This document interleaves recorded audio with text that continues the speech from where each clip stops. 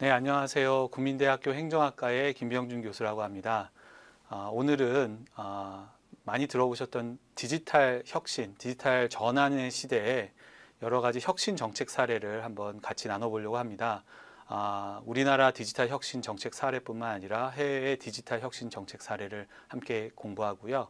어, 디지털 전환 시대에 정부 혁신을 위해 우리가 해야 될 부분은 어떤 것들이 있어야 될지 한번 살펴보도록 하겠습니다.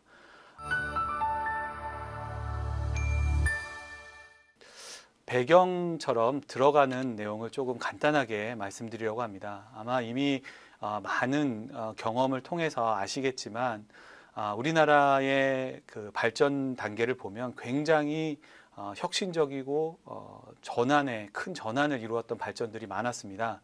아시는 바와 같이 민주화 이전에 경제 발전에 있어서 우수한 엘리트 공무원과 또 그런 공무원을 바탕으로 해서 이루어졌던 여러 가지 집중됐던 발전의 시기 연대를 지나서 어, 90년대, 80년대 말부터 90년대는 어, 전자정부로 인해서 정부 혁신에 큰 변화들이 있었다고 할 수 있습니다.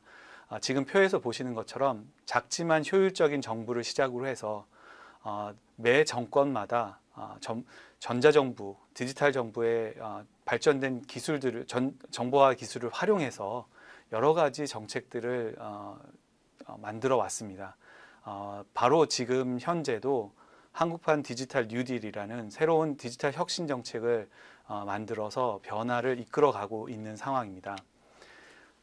이러한 상황 속에서 여러분도 지금 어, 한 벌써 2년 정도 경험을 하고 계신 코로나19를 통해서 전 세계는 어, 디지털 전환이 단순히 정말 발전된 정보 기술을 활용하는 것이 아니라 우리 삶의 큰 변화들을 함께 해왔다는 것들을 어, 많이 목격하고 있습니다. 어, 대표적인 예로 마이크로소프트의 최고 경영자는 앞으로 향후 2년 동안 일어날 디지털 전환을 2개월 만에 경험하는 그러한 경험들을 코로나19가 우리에게 가져다 주었다고 할 수 있습니다. 어, 비대면의 어, 코로나 시대에서 어, 디지털 발전된 디지털 기술들은 다양한 민간뿐만 아니라 공공에서도 여러 가지 변화들을 가져왔습니다. 특히 어, 1920 어, 우리 2020, 2020년부터 시작되었던 대전환의 정책들 중에 한국판 뉴딜은 어, 특히 어, 2021년 올해 어, 20, 여름을 기점으로 해서 어, 어, 디지털 뉴딜과 그린 뉴딜을 넘어서서 휴먼 뉴딜과 어, 지역 균형 발전 뉴딜이라는 큰 축으로 변화를 좀 꾀하고 있습니다. 그 내용들을 간단하게 살펴본다면 어, 한국판 뉴딜이 어, 어, 새롭게 어, 대전환의 문을 열었다면 한국판 뉴딜 2.0은 국제환경 변화에 능동적으로 대응하면서 그 디지털 전환의 속도를 더욱더 높이겠다는 계획입니다. 아마도 어, 올해 2021년을 지나 내년 2022년도에 어, 여러 가지 정치적인 변화들 속에서도 아마도 디지털 전환의 대전환의 열풍은 계속되리라고 생각이 됩니다. 앞으로 이 분야에 관련된 여러 어, 투자와 이런 투자를 바탕으로 해서 일자리가 창출되는 그런 디지털 혁신의 사례들이 많이 나타날 것으로 기대가 됩니다. 이러한 상황 속에서 어, 앞으로 미래의 정부는 어떤 방향으로 나아갈 것인가를 어, 서론에서 잠깐 말씀드리자면 지금까지의 어, 정부 운영이 굉장히 상명하복의 어, 책임 관계를 굉장히 강조했던 조직화된 어, 문화, 문화와 형태였다라면 앞으로의 미래 정부는 whole of government라고 얘기하는 것처럼 하나의 연결되고 양방향의 서비스와 국민 중심의 수평적인 다양한 개방 공유 협력의 어, 정부 운영이 이루어질 것을 기대하고 있습니다. 이러한 방향으로 나아감에 있어서 디지털 신디지털 기술들이 어떻게 활용되고 어떻게 우리에게 좋은 사례들이 있었는지 한번 먼저 살펴보려고 합니다. 아, 그 전에 음, 도대체 디지털 요즘 말하는 디지털 정부라는 게 어떤 의미를 가지고 있는지 잠깐 아, 짚어보고 어, 본격적인 어, 사례에 대한 논의를 한번 같이 나눠보려고 합니다. 지금 보시는 편은 어, OECD에서 발, 2014년에 발표해서 현재도 디지털 정부 인덱스라 그래서 어, 각 어, 디지털 정부의 선도 국가들의 어, 수준을 평가해서 발표하고 있는데요. 그 OECD에서 정의한 내용입니다.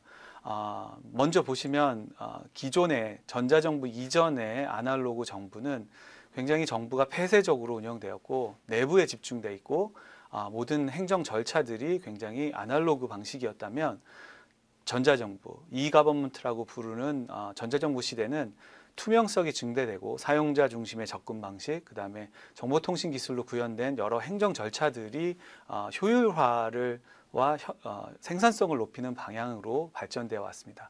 그렇다면 디지털 정부는 어떤 방향일까요?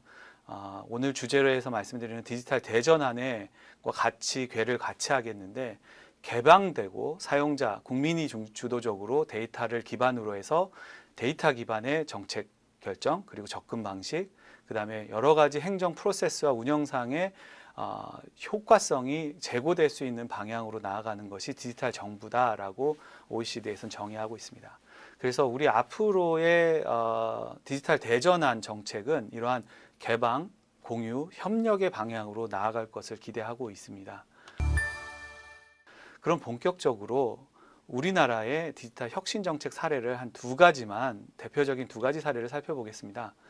어, 디지털 혁신 정책이라고 하는 것은 앞서 보여 말씀드렸던 OECD에서도 디지털이 먼저 우선이 되는 정부, 그 다음에 데이터를 바탕으로 해서 정책의 의사결정이 이루어지고 어, 플랫폼, 즉 다양한 이해관계자들이 참여해서 다양한 가치를 만들어낼 수 있는 일종의 어, 장, 어, 마당을 만들어주는 플랫폼을 만들어주는 정부 그리고 이러한 과정들이 폐쇄적이지 않고 어, 양방향으로 열려 있어서 어, 정부와 시민과 민간 기업이 함께 어, 창조적이고 혁신적인 아이디어와 서비스들을 만들어낼 수 있는 방향을 말합니다. 더불어 국민이 주도할 수 있는 정부 그리고 어, 먼저 선제적으로 어, 맞춤형으로 어, 국민들에게 서비스를 제공해 줄 수 있는 것들이 아마 혁신적인 디지털 아, 정책이라고 얘기할 수 있습니다. 그런 사례가 사실 우리나라에 더 발전적으로 세계 어느 나라보다도 발전적으로 제시되고 있습니다. 그 두 가지 중에 첫 번째는 아, 최근 사례를 하나 가져와 봤습니다. 아시겠지만 최근에 요소수 대란이 있었습니다. 요소수 가 아, 부족한 현상이 일어나면서 이 분야를 이, 이 요소수 부족 현상을 극복하기 위해서 여러 가지 대안들이 논의되었는데 그 중에 하나 어, 발전된 우리의 디지털 기술을 활용해서 정부가 민관과 협조해서 즉 어, 카카오 맵이나 네이버 맵과 함께 협력을 해서 어, 정부가 가지고 있는 공공 데이터를 개방하고 민간의 플랫폼을 활용해서 새로운 형태의 어, 민간, 국민들이 사용할, 사용하기 편리한 서비스들을 만들어냈습니다. 그래서 민간 지도 위에 내비게이션 앱 위에 어디에 요소수들이 현재 어, 보유량이 어떻고 가격이 어떤지 찾아볼 수 있게 만들어지는 그러한 혁신 사례가 나타났습니다. 예, 이번 요소수 부족 상황에서 특히 행정안전부는 주요, 주유소별 요소량, 요소수 재량, 재고량 데이터를 수집하고 그걸 공공데이터 포탈에 올려서 API를 통해서 데이터를 민간과 개방을 해서 예를 들면 티맵이라든지 네이버 카카오맵과 함께 연동시켜서 어, 국민들이 쉽게 어, 익숙한 어, 맵을 각 어, 국민들이 사용하는 맵을 이용해서 어, 느 곳에 어, 요소수 재고량이 있고 어떤 어, 느 곳에 가면 어, 그거를 어, 찾 구입할 수 있는지를 아주 빠르, 발빠르게 만들어냈던 사례입니다.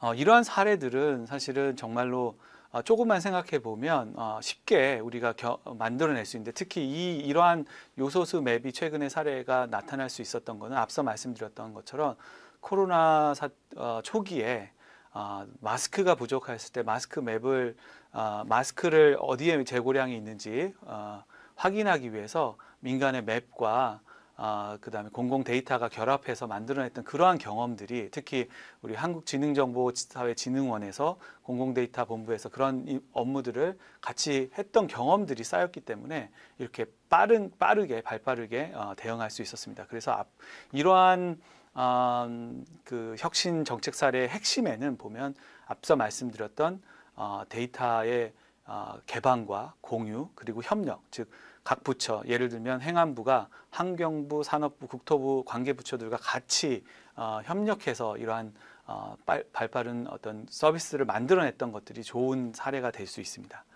자, 이러한 사례들은 정말 정부가 주도적으로 민간과 함께 협력해서 국민에게 어, 편리한 서비스들 디지털 혁신 정책 사례로서 좋은 사례가 될 것이고요.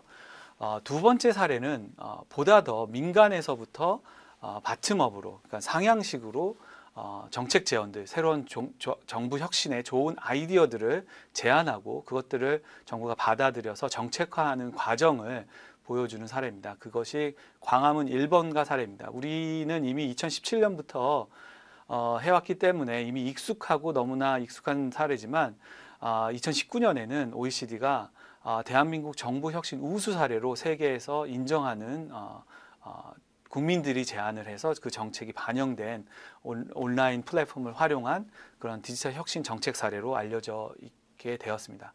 그 구체적인 내용을 한번 잠깐 살펴보면요.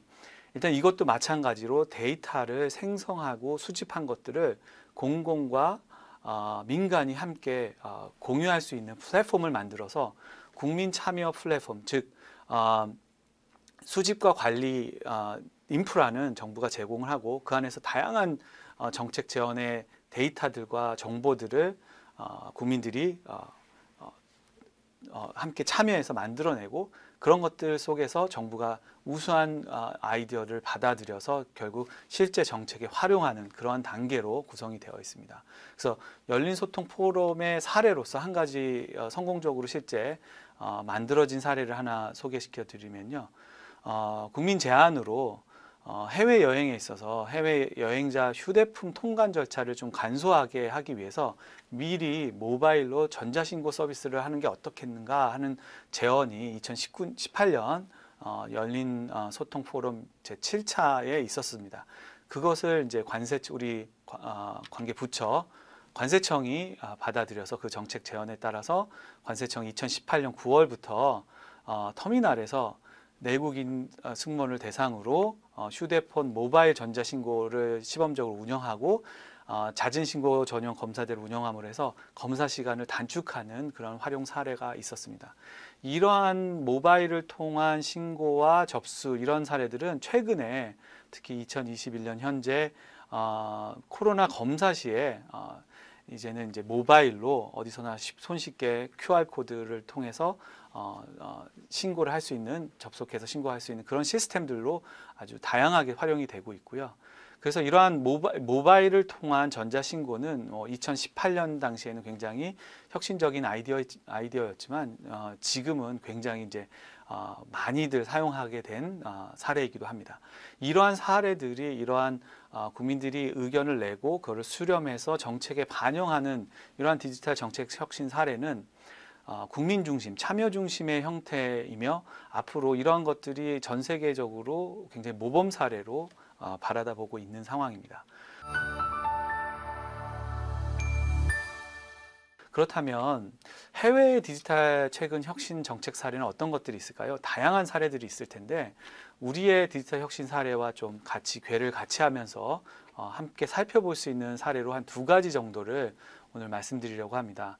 첫 번째 사례는 어, 영국의 기술전략위원회 이노베이트, UK라는 곳에서 만든 어, Design in Innovation Strategy 2020 for 2024라는 어, 전략 보고서 발표 내용을 한번 같이 살펴보려고 합니다.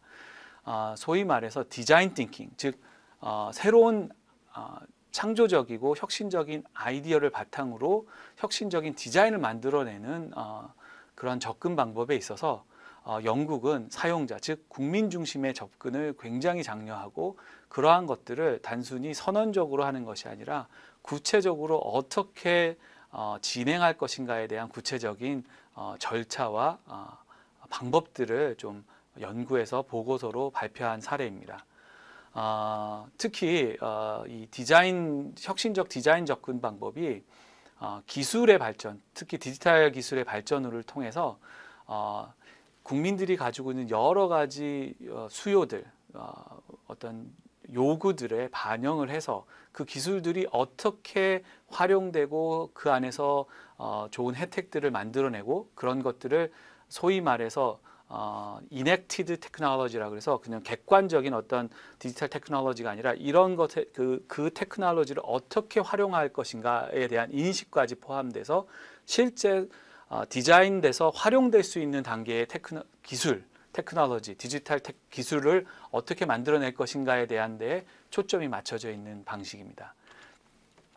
어, 이러한 기본적인 이러한 그 기술을 활용해서 디지털 어, 디자인 혁신을 만들어내는 곳에는 세 가지 큰 요소들이 있습니다. 이러한 혁 좋은 어, 위대한 어, 혁신의 결과물들은 어, 그 사례들을 살펴봤을 때 공통적으로 어, 국민이 가지고 있는 어, 어떤 요구, 열망, 그러니까 그런 필요들을 좀 충족시켜 주는 높은 고도 어, 제, 높게 올라간 요구 요구와 그것들을 가능하게 할 수 있는 가용한 기술 그리고 거기에 이러한 것들이 실제로 어, 재정적으로 어, 가능할 수 있는 그러니까 실제 이러한 서비스들이 그냥 단순히 어, 어떤 어, 기술이 가용하고 사람들이 필요하기 때문이 아니라 정말 이게 비즈니스 모델로 어, 활용될 수 있을 정도까지 어, 재정적으로 유의미한가? 예를 들면 최근에 어, 많은 곳에서 인공지능에 대한 인공지능을 바탕으로 한 많은 서비스들이 나타나고 있는데요. 이러한 인공지능에 대한 아이디어는 벌써 수십 년 전에 있었습니다. 하지만 그 당시에는 어, 기술 수준이나 더불어 또 어, 파이낸셜리 그러니까 기술의 기술을 기술을 활용할 수는 있었지만 그 기술이 굉장히 어, 비쌌기 때문에 어, 그 정말 생산 그 효과성이라는 게 어, 어, 비용 대비 너무나 낮았기 때문에 어, 활용되지 못했습니다. 그렇지만 지금은 어, 기술의 발전 속도와 거기에 어, 반비례해서 낮아진 비용으로 인해서 어, 국민들이 가지고 있는 요구와 이런 것들이 세 가지 요소가 함께 잘 맞물렸을 때 아주 혁신적인 결과물들이 나왔고요. 아, 그래서 어, 소위 말해서 영국의 아, 디자인 적, 디자인 띵킹 접근은 어, 더블 다이아몬드 모델이라고 부릅니다. 확산, 확산과 수렴의 과정을 반복해서 마치 두 개의 다이아몬드가 연결된 형태로 표현이 된다고 하는데 이 과정이 최초에 어떠한 니즈들을 발견하는 접근 발견하는 단계에서 어떤 문제 문제를 공공의 문제를 해결하기 위해서 어떤 접근 방법들이 있는지 다양하게 어, 확산시켜서 많은 사람들을 의견을 모으고 그러한 모은 것들을 어, 다시 한번 해석하고 구체화하면서 수렴을 하고 그런 것들을 가, 해서 어떠한 결과물들이 이제는 아이디어 단계에서 이 아이디어가 실제 문제를 해결할 수 있는 솔루션 단계로 그러니까 무엇을 어, 왜할 것인가의 단계에서 이제 두 번째 다이아몬드에서는 어떻게 할 것인가에 대한 다양한 또 의견을 또 확산시켜서 모으고 그것들을 어, 수렴해서 정말 제 가장 최적저 최적절한 솔루션 해결책을 도출해내는 그런 수렴의 과정을 확산과 수렴, 확산과 수렴 이렇게 두, 두 가지의 어, 반복적인 어, 두 개의 사이클을 만들므로 해서 마치 두, 더블 다이아몬드 모델이라고 해서 이러한 방식으로 접근할 때 어, 혁신적인 어, 정책 성공 사례들이 나타난다라는 얘기입니다. 그래서 이러한 접근 방법을 통해서 어, 어, 구체적인 사례 중에 하나가 이거는 미국의 사례입니다. 지금은 현재 이이두 번째 사례는 우리나라에서도 굉장히 많이 알려졌는데요. 어, 소위 말해서 커뮤니티 매핑이라는 것입니다. 어, 이 사례의 시작은 음, 어, 2014년, 15년에 어, 미국에 있었던 어, 태풍으로 인해서 토네이도로 인해서 전기가 끊이고 전력이 끊긴 상황에서 각자 전기가 없기 때문에 각 지역 어, 어, 그 발전 소형 발전기들 전 그러니까 기름을 가스 기름을 넣어서 돌려서 이제 전기를 발생시킬 수 있는 그러니까 미국은 어, 많은 어, 거주 지역들이 굉장히 많이 땅이 넓다 보니까 많이 떨어져 있어서 혹시 이런 사태를 대비해서 어, 기름으로 어, 움직이는 그런 발전기 소형 발전기들을 집들에 많이 비치해 놓고 있긴 한데 문제는 그러한 소형 발전기들이 기름이 없으면 어, 어, 작동이 안 되는 상황입니다. 그래서 앞서 저희가 그 요소수 map처럼 어, community mapping이라고.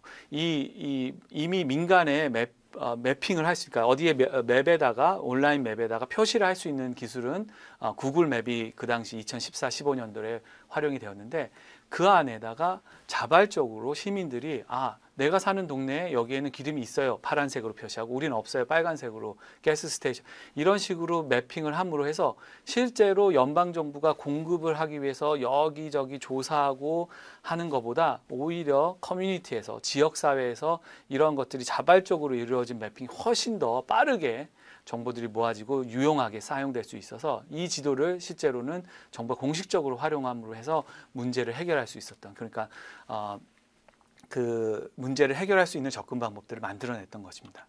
이러한 것들이 현재 이 community mapping은 해외 사례뿐만 아니라 이제는 우리나라의 어, 사례로 활용이 되고 있습니다.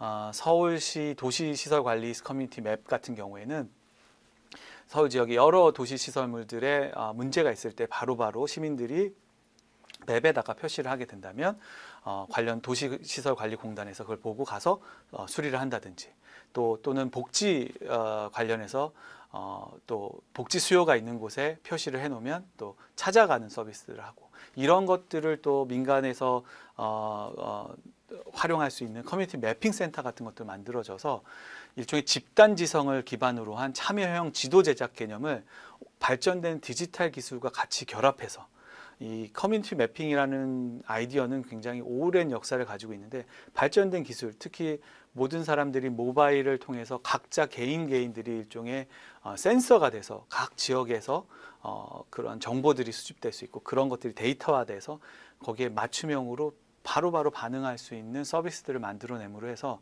굉장히 어, 모든 국민들이 그 혜택을 누릴 수 있는 형태로 발전했던 내용입니다.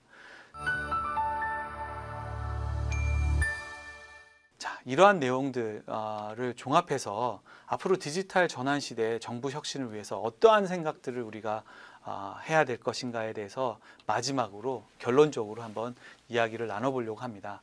오늘 이 강의를 어, 듣고 계신 모든 어, 분들은 어, 리더로서 앞으로 이러한 혁신적인 디지털 혁신 정책을 만들어내실 분들입니다.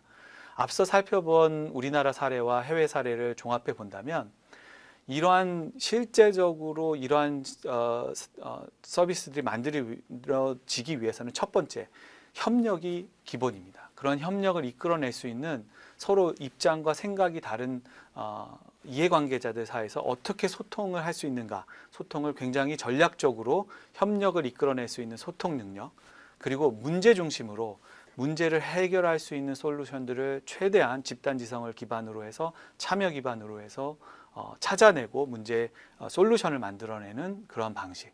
거기에 더불어서 어, 발전된 정, 디지털 기술을 통해서 축적된 데이터를 어떻게 잘 개방하고 활용할 것인지 데이터에 대한 전문성도 어느 정도 어, 갖춰야 될 것이고요.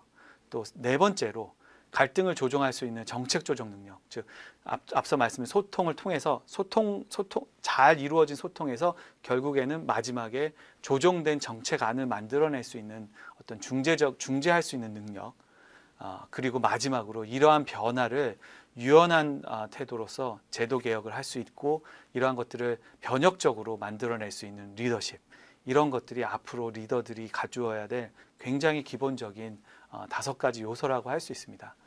어, 디지털 대전환 시대에 우리가 쉽게 어, 음, 빠질 수 있는 오류는 어, 기술이면 모든 것들을 해결할 수 있다. 특히 발전된 최첨단의 기술이면 어, 모든 문제들을 해결할 수 있다라는 생각은 굉장히 어려 어, 어, 문제가 있는 어, 생각이라고 할 수 있습니다. 어, 정말 근본적인 어, 문제의 어, 핵심에는 기술을 넘어선 기술 안에 우리 사람들, 특히 어, 국민들과 함께 소통하고 함께 문제를 해결해 나가는 그러한 어, 능력 이런 것들이 어, 기본이 돼야 될 것입니다. 그거를 다른 말로 표현한다면 거버넌스 체계를 만들어야 된다는 얘기일 수도 있습니다. 이러한 것들이 함께 잘 조화롭게 기술과 거버넌스 체계가 함께 나아갈 때 앞으로 우리나라 디지털 대전환의 새로운 어, 우수 어, 사례들은 계속 만들어질 거고 아마 세계에서 모든 나라들이 어, 함께 배우고 싶은 그런 나라가 될 것이라고 생각이 됩니다. 짧은 시간이지만 여러 다양한 얘기를 말씀드리다 보니까 조금 급하게 좀 전달된 부분도 있을 텐데요. 하여튼 오늘 핵심적인 내용들 잘 이해해 주셨으면 감사하겠고요. 하여튼 오늘 이렇게 수업을 들어주셔서 감사합니다. 감사합니다.